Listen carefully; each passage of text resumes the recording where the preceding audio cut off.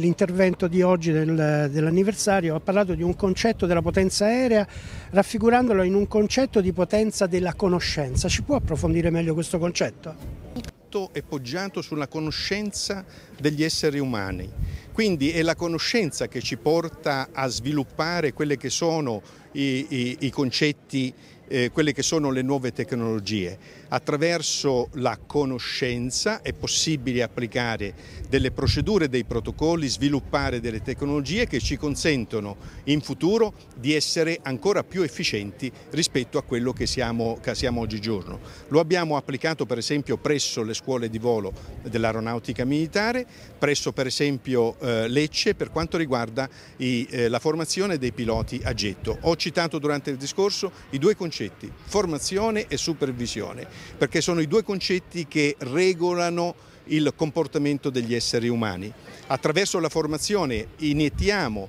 nei, eh, nei, nuovi aspiranti piloti le conoscenze al più alto livello perché attraverso il livello di conoscenza, il livello di tattica e il, il buon velivolo effettivamente potranno esercitare al meglio quelle che sono le capacità di sicurezza del nostro paese e di difesa del nostro paese. Ecco perché le scuole sono fondamentali, gli insegnanti sono fondamentali, i metodi e i processi attraverso il quale insegniamo sono fondamentali. Presso Lecce c'è una scuola di eccellenza che oggi ho definito mondiale perché stiamo, stiamo eh, eh, avendo parecchie richieste di partecipazione a questa, a, a, a questa scuola. Immaginate solo i coitiani attualmente presenti, eh, presenti sono 49 e dobbiamo limitare il numero delle adesioni europee eh, di altri paesi del Golfo Persico perché effettivamente abbiamo necessità di allargare il bacino per consentire all'utenza di poter entrare.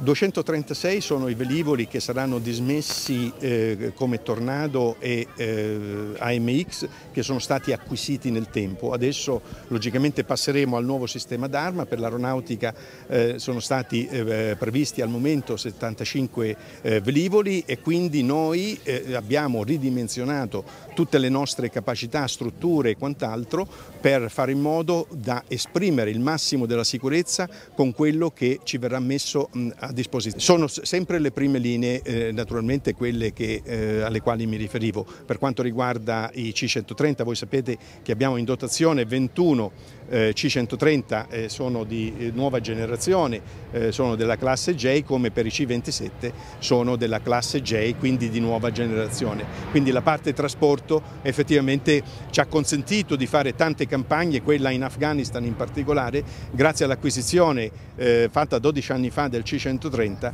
abbiamo potuto esprimere il massimo in termini di supporto alle truppe ivi schierate attraverso il detachment su Al-Batin che ha consentito di avere una piattaforma da dove muovavamo tutti gli uomini e tutti i mezzi che ci servivano effettivamente per portare avanti la nostra grande missione perché quella dell'Afghanistan è stata fatta con tanto sacrificio e nell'area di competenza per quello che ci è stato assegnato in termini di compiti portato, portato a termine con successo.